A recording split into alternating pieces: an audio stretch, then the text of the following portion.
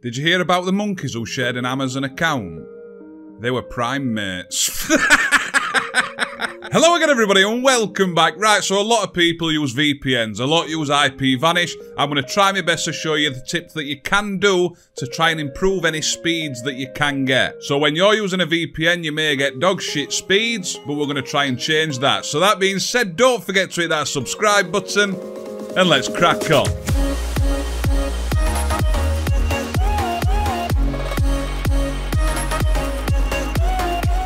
Right then, so first of all, I am going to be on the 4K Fire Stick and then I'm going to take it over to the PC just to show you some results of the differences that it makes. Right then, so first of all, I'm not even connected to a VPN at the moment. I'll be using IP Vanish in this tutorial and I will show you the hidden router as well. So if I launch the application and download it, I have saved it into the favourites. It's literally just fast.com.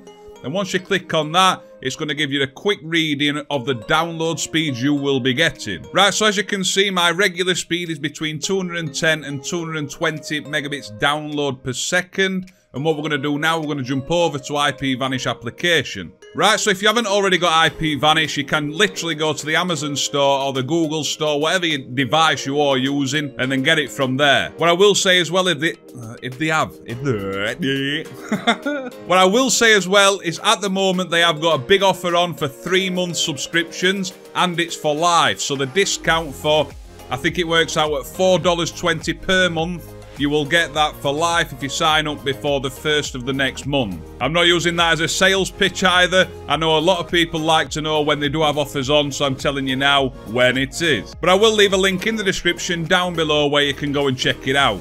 Right, so I'm going to launch the application, and as you can see, it loads up like we expect it. And this is probably going to work for any VPN as well, not just IP Vanish. Right, so usually when you launch it, you'll just pick a country and then the city will be best available and the server will be best available. And then you're going to connect it and it's going to use the settings that are already set as it's set. and once it's connected, we're going to go back and we're going to go to downloader again. I'll force stop and launch the application. We'll go to the left hand side and you want to visit fast.com again. The reason I saved it to favourites is purely because it's a lot quicker just having it there. And I will show you how to add things to your favourites as well. One thing to bear in mind when you're using a VPN on Fire Sticks and that, do bear in mind they're not the most powerful device. And that's one of the reasons I'm going to jump over and show you on the PC shortly as well. If you want to add it to your favourites in the top right, but what side? in the top right hand corner you're going to see the hamburger menu, click on that add current page to favourites, then click on save, and that's how you get it into there. So as you can see, 35 meg, and that's a massive drop to what we've just had. Right, so once we launch it again, we're going to change the city. Legend has it, the closer you are to that server, the faster your speeds will be. And then you've got servers, which I'm going to show you in a moment as well. Also, you see the settings icon in the top right hand corner. If you scroll down, you see a VPN protocol you see TCP and UDP. Change those, just, this is a case of trial and error. You're never going to find it's the same for everybody. I want you to comment down below what settings you use, what you've changed around to get it better for you. I don't care if you use v um, IP Vanish, NordVPN, Pro VPN, it doesn't matter, just the settings so people can come here and see what's best. So I am, I'm going to change that because that's what I'm like. I'm ruthless when it comes to out like that. what we're going to do, I'm going to connect again and then I'm going to do another speed test.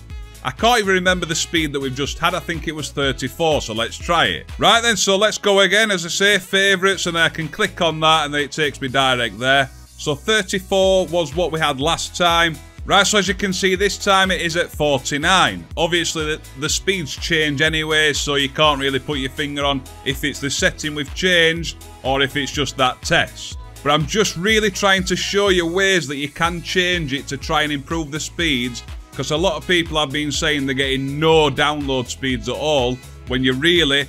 IP Vanish is claimed to be the fastest VPN software based that you can get and their servers are, the, are faster than any other VPN service. Software based, may I add.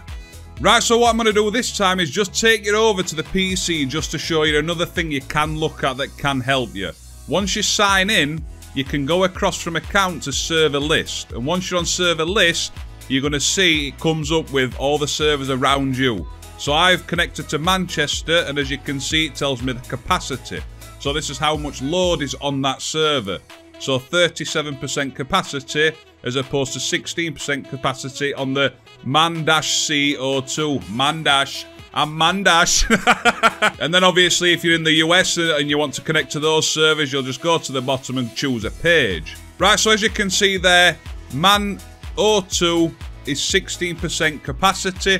So I'm going to do, I'm going to go down to server. Right then, so once you're back into the application on your device, you go down to server on the left-hand side and you can see O2 there. So we'll click on that and then that's the server you're going to connect to. It's not going to choose itself.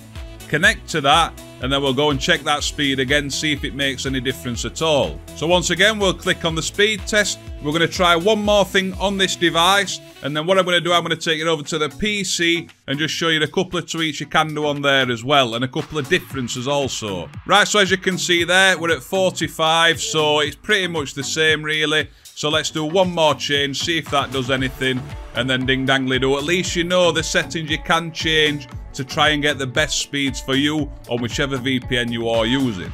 Right, so this time this is on the PC now, and as you can see it's giving me more of a true reading, purely because the device on a PC is a lot more powerful than a Fire Stick.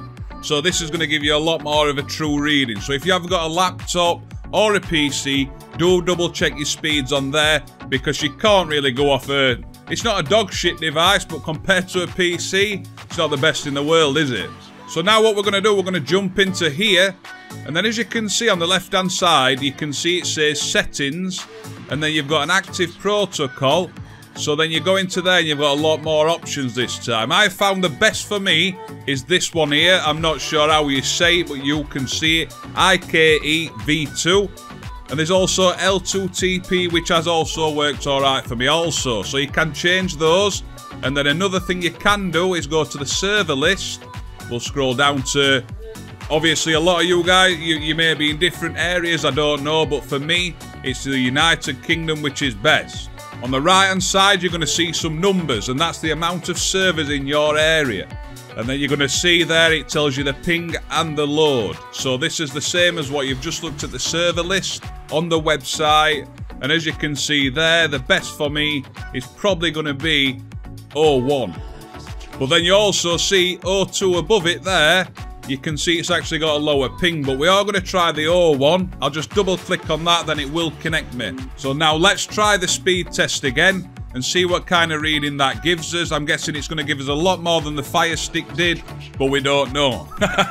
so as you can see there, it's giving me 120, which is still quite a big drop and it is a lot less than I usually get on IP Vanish. So we'll go back in, I'll change the server again, I'll change it to the O2 this time, try that again, so that gives me 120, I'm going to make one more change, so I'm going to go back into the settings, disconnect, change it to the L2TP, and this time what we're going to do, we're going to change this to the vest, vest available. It is warm, I do wear vests sometimes, and it's just stuck in my head.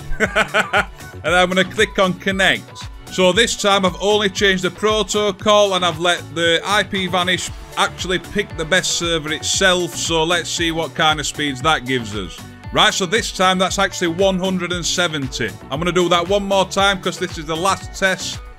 So as you can see there, it gives me 110 this time. It, it does fluctuate. You are going to get high speeds at some times and low speeds at different times. But you're always going to get enough of what you're going to need it for. For streaming, there's people with 5 megabits download speeds that can act that's capable of viewing stuff like that. And anything above say 20 or 30 is easy enough to watch HD content. Right then, so that was just a bit of the look. It, it, I did use IP Vanish, yes, you may be using a different VPN, but it should be the same kind of thing.